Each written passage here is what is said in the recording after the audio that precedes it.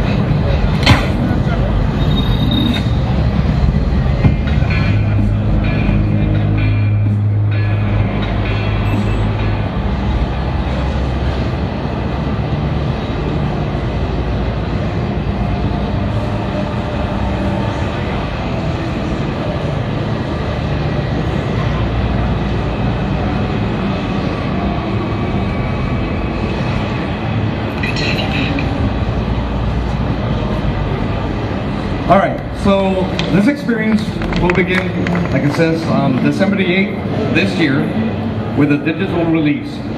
This is when we will invite our players into a live and ever-expanding world of assassination. This is a world that will continue to grow, deepen, and evolve over time. It's a game where we will release new locations, new missions, and new hits at regular intervals, where we will continuously develop the game and adjust the gameplay to create new events and new content based on player feedback. This is something we're very excited about at I.O. because it allows us to do things that are both bold and completely new to the Hitman experience. As an example of this, uh, imagine a target that appears for every player in the world, but for a limited time only. You will have one chance, and the outcome will be final. So if the target escapes, he'll be gone forever, and how he dies is how he dies.